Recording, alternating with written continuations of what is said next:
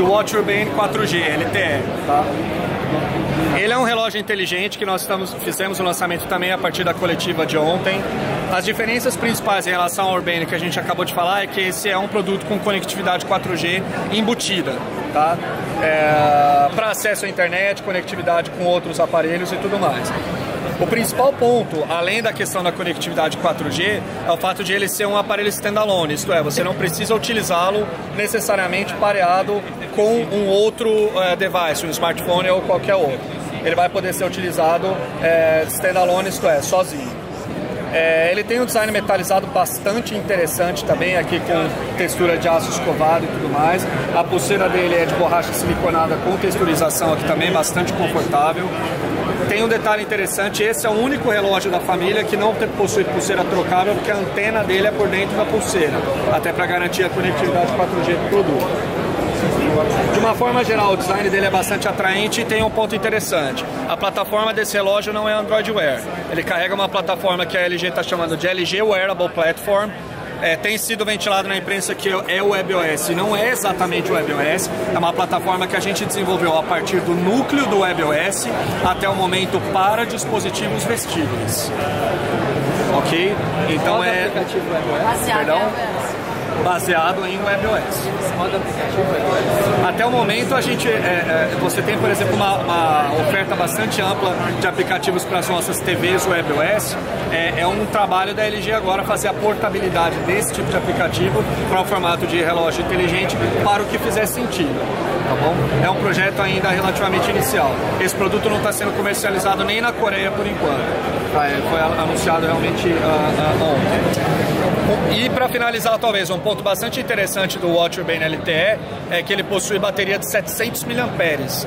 Então é importante para suportar principalmente a questão da conectividade 4G, tá? E vai aí ter uma durabilidade de bateria bem interessante para o usuário, vai conseguir utilizar o dia inteiro e não ficar aí sem poder utilizar o dispositivo no meio do dia. Ele também tem sensor cardíaco embutido, bom. Você também vai poder fazer aí a, a contagem dos batimentos cardíacos. E o design do produto que é bastante atraente também. Posso perguntar? Por favor. Uh, você podia mostrar um pouco da interface do que tem? Sim. A gente tem aqui na parte de apps, você tem aqui a possibilidade de mudar, aqui tem vários estilos de, de mostradores. Você pode inclusive é, baixar mostradores novos e também construir outros mostradores a partir de uma interface que você escolhe o fundo, o ponteiro, ou digital, o tipo de caractere e tudo mais. É bastante interessante. E na parte de apps, você tem aqui alguns é, toggles bem fáceis aqui para você regular o brilho, para você alternar aqui entre o tipo de conectividade e tudo mais. E também aqui na parte de interatividade do produto.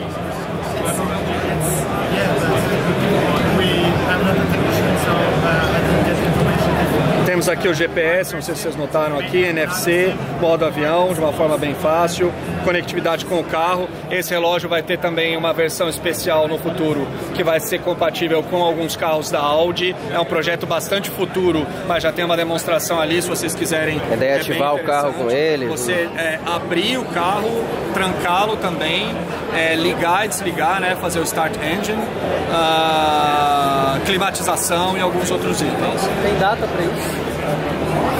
Possivelmente as primeiras versões compatíveis com o automóvel da Audi até o final de 2015, porém isso é, uma, é, é algo que depende mais da Audi do que da LG.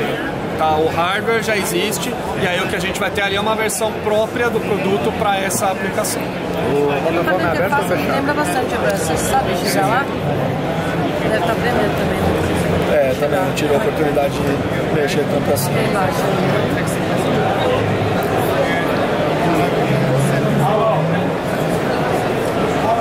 dar uma fuçada aqui depois. Esses 700 mAh, vocês projetam que vai durar quanto tempo?